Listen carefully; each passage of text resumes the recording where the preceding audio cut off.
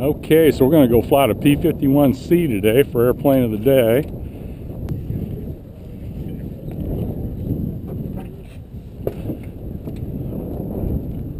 No, I'll get, yeah, I'll, I'll, because I haven't warmed it up yet.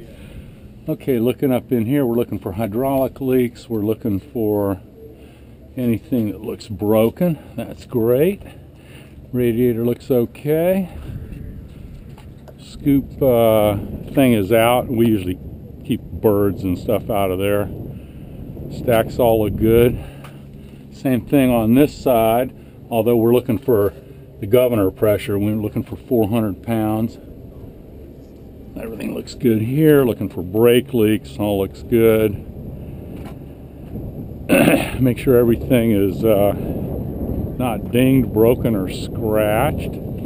It's got plenty of fuel. Radiator's up, great. Oil. Okay. I trust my guys. Controls all look good. The uh, elevators on the early Mustangs were fabric. The rudders on all of them are fabric.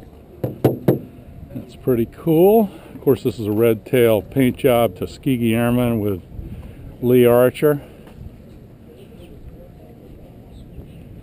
Looking good. okay.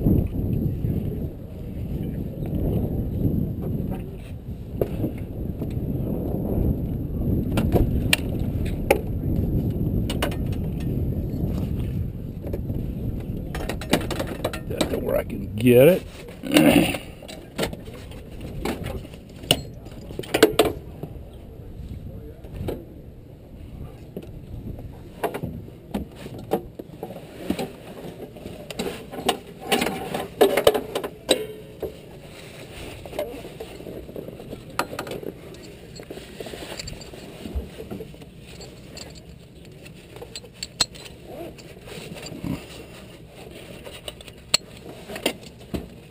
parachute is actually the seat cushion itself, so it's always nice to have that available. Although the only reason I would jump out of this thing is if there was a pretty sizable fire or the wing came off or there was a hundred Messerschmitts after me. I'd do the best I could. Okay. Seatbelt tight first. Then we do the shoulder harnesses.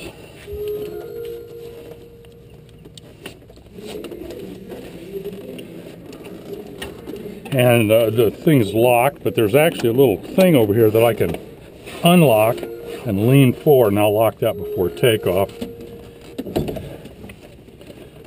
Okay, get the helmet on.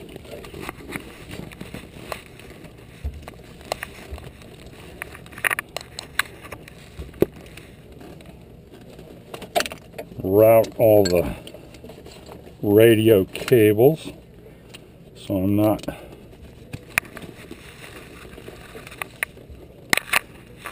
in the way.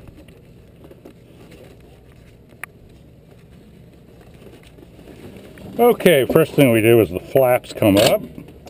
Got the ram air on.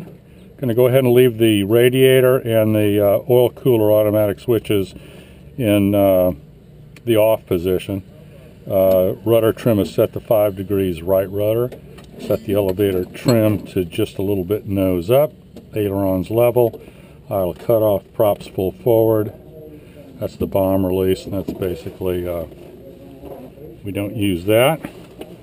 Okay, fuel is on. Looking at how much we've got. Appears to be fuel. That's the right gauge in the wing. That's the left gauge in the wing. And uh, we're going to start off with the left because the carburetor overflow actually goes back to the left tank. So if we had the left tank full and we took off on the right tank and the carburetor filled, we'd start overflowing fluid out of the uh, left tank. Um, push in the hydraulic uh, accumulator release so the hydraulic pressure will work. Go ahead and turn on the battery, the generator. Now the reason I turned these off is because if I would have if I would have uh, turned them into the automatic position, you can listen to the uh, radiator shut. So I don't mess with that until I've actually got it started. So we got there, I got to prime it. In the early Mustangs, you actually had to manually prime uh, the engine. And so I got fuel pressure over here with the fuel pressure pump on. A couple of squirts. That's locked that. That's still up. Throttle crack. And uh, I have not flown this in a while, so I am going to have to pre-oil the engine. You didn't pre-oil the engine, did you? I'm going to pre-oil it for two minutes. And what that does is it's going to uh, pressurize the system so I've got oil pressure and it's going to pump oil up through the crankshaft up into the top end and it's going to it takes about two minutes to get oil up on the camshaft because remember it's a V12 engine and uh, the cam actually hits the rocker arms metal to metal so it's very important that they're lubricated before we start.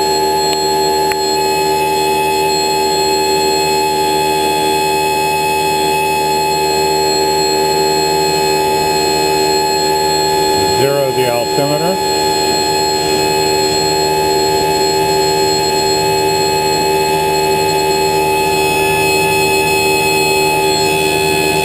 Set the compass.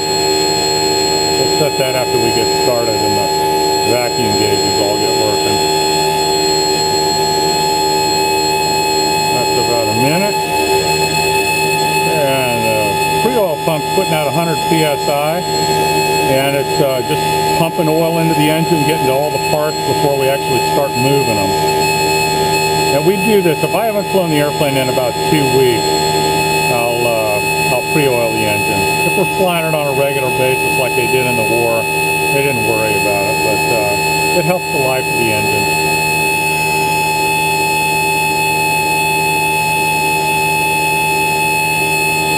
Okay, that was about two minutes.